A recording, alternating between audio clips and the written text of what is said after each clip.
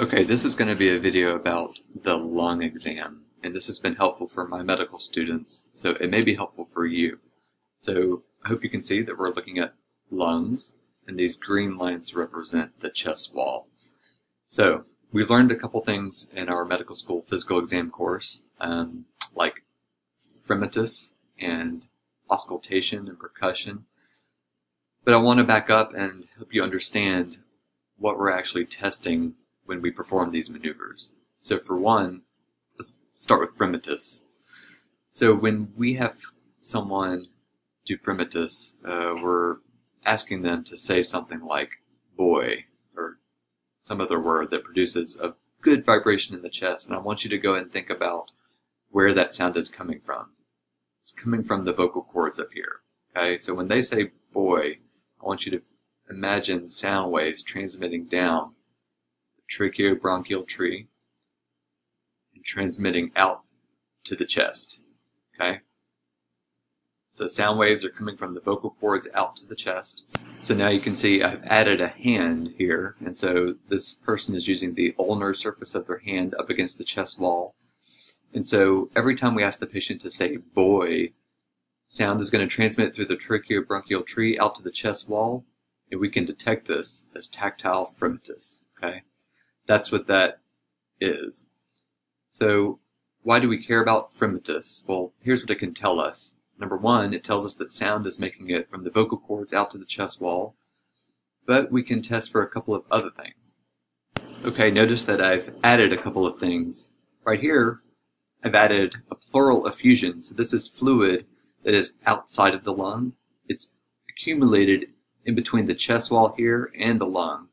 And so anytime fluid accumulates between the lung and the chest wall, it's going to decrease fremitus.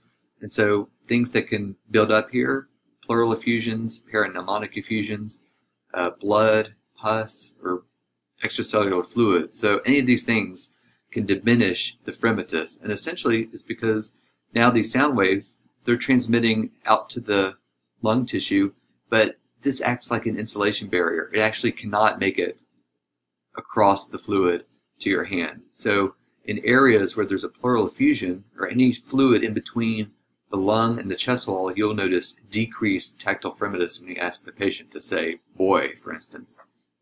Now, let's do fremitus over here. So I'm going to use F to say we're doing fremitus here. We may feel normal tactile fremitus in these areas of the lung down the chest, but right here in this segment of the lung, I've added a pneumonia. So this is an area of consolidation. We're actually inside the lung. The lung is full of pus and fluid and all these alveoli are full of fluid. Okay, so now the tissue actually became more dense. Up here, this is healthy lung. There's a lot of air in it, so it's less dense, but the sound still travels through this part of the lung.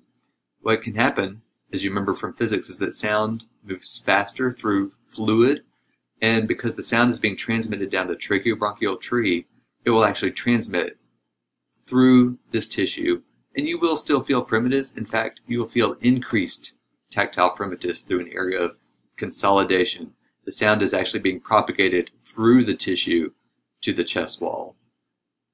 Whereas on this side, there's something in the way fluid, whether it's blood, pus, or anything else, is in the way, and so the sound cannot transmit to the wall. So decrease fremitus with the pleural effusion, increase fremitus with a consolidation, and you'll feel normal tactile fremitus in other healthy areas of the lung. So here we are again, except now I'm using my stethoscope, which is down here, and so when we auscultate the lungs, we're asking patients to take deep breaths in through their mouth. So as they bring air in, they generate turbulence. And so there will be turbulence in the tracheobronchial tree, and this generates the breath sound. And so from somewhere centrally, we're generating sound out here. And so we're hoping that the sound will transmit through tissue, through the chest wall, so we can actually auscultate it. And so when I'm listening up here, I'm checking whether breath sounds move out to the chest. When I check right here, I'm listening for breath sounds. But look, I've added a pleural effusion, just like the last case. And so now there's something in the way. And so if I was listening right here, I can't hear the sound as well. And so this sound cannot cross a pleural effusion. Maybe I hear decreased breath sounds. Sometimes you hear nothing at all if the pleural effusion is thick enough. or has a very thick substance to it. Now look on the other side. I've added that pneumonia again. And so remember with the pneumonia, it's actually inside the lung. So this pneumonia is pus and fluid that's impacted and socked into this lobe right here. But as sound passes through the tracheobronchial tree, through the lung itself, it will transmit more efficiently and quickly through a pneumonia. And actually, if I was listening right here with my stethoscope, I'm actually hear increased breath sounds. We actually have a term we call them bronchial breath sounds because the breath sounds, uh, while listening peripherally, sound just as loud as if we were listening right above the main bronchi. So when there's increased fluid density and increased density in the tissue of the lung, we will hear sound better, and these central sounds will actually propagate out to the chest. It'll be louder over pneumonia than if I was listening right here over normal healthy lung. Okay, and real quick, let's talk about percussion. So when you percuss the chest, um, it's kind of interesting. It's sort of like the opposite of what we've discussed before. I'm just going to use P and an arrow to designate where we're percussing. So when you hit the chest with your hand, you're actually you're producing sound wave out here, and you're trying to see what's going to get reflected back to you. And so I like to tell uh, students that it's sort of like a poor man's ultrasound. So you're basically asking the question, how dense is the tissue under where I'm percussing? And so under lungs, remember, you know, lung is it's tissue, but it's mostly air. So it has a nice, deep, resonant type of sound. But something that's denser than air-filled tissue, like this pleural effusion here, if we percuss here, it sounds dull. There's less air, less sound that's propagated, and it doesn't sound as loud, and the note is not as deep. Uh, likewise, if you're percussing over a pneumonia, it would sound dull as well. It sounds duller than the healthy resonant lung if we percussed up top. Um, so just experiment. It's worth, uh, you know, percussing your own, your legs and your abdomen and your lungs just to get a feel for how uh, different tissues make different sounds. Okay, let's do something real quick to consolidate our knowledge. So uh, I've crudely drawn some patients right here and pretend like you're seeing them in the ER and they were both involved in a motor vehicle accident. So uh, this patient in green over here is complaining of severe shortness of breath. So let's say you, you perform fremitus, and so in his uh, right lung here, let's say that fremitus is normal, but what if you perform it all along the left lung and you have decreased fremitus throughout, right? You cannot feel vibrations when you ask the patient to say boy. You then percuss the lung, so you have normal resonance over here, but when you percuss the lung on the left side, you actually hear tympany, so very loud, uh, very loud percussive sound, high, low, low pitch, uh, very loud and reverberant. Um, then you do auscultation, and let's say on the right lung you hear normal, uh, you know, vesicular breath sounds, but uh, what about here? You hear no breath sounds at all. So what does this patient have? So with no breath sounds, I know the sound of uh, from the tracheobronchial tree is not making it out to the chest wall uh, sound from the vocal cord is not making out to the chest wall, but when I do percussion, I know that everything underneath is air, or it's a very hollow quality. So when I hear tympany, um, he basically has air in the chest. So this is a pneumothorax. And so he could have a tension pneumothorax and you need to treat him urgently. So what about this patient? You do the same type of exam on this patient.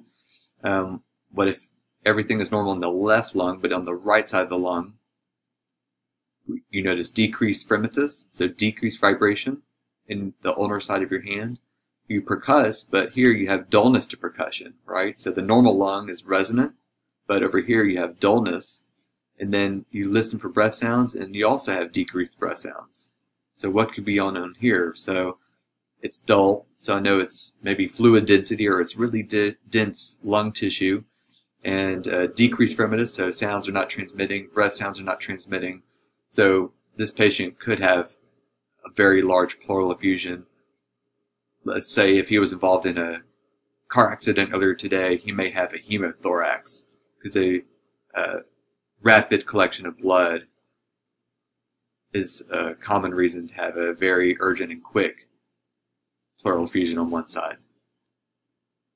Okay, real quick, just to summarize some of those things. So, normal lung has normal tactile fremitus. You'll hear vesicular breath sounds, so you'll be able to hear good breath sounds transmitted. And when you percuss on normal lung, it's nice and resonant, makes a nice deep, uh, low pitched sound. If there's a pleural effusion, you have decreased fremitus because you can't feel those vibrations. You'll have decreased breath sounds because the breath sounds aren't making it out to the chest wall. And because there's fluid right underneath the chest wall, in between the lung and the chest wall, it will be dull to percussion. If there's a pneumonia in one of the lobes right over that area, you'll have actually increased tactile fremitus. You may hear bronchial breath sounds, so sound transmit uh, faster, more clearly, but because it's fluid density, you'll be dull to percussion in that area. And then a pneumothorax, there will be no tactile fremitus. The lung is actually compressed and shriveled and surrounded by air that's compressing it. Uh, you will not hear breath sounds because there won't be any air moving on that side. And when you percuss on the chest wall, it's full of air, so it makes a really loud sound. We call it tympany. And so this is obviously assuming it's a very large and severe pneumothorax. But um, I know these are broad generalizations, but I think it makes the point. Thank you.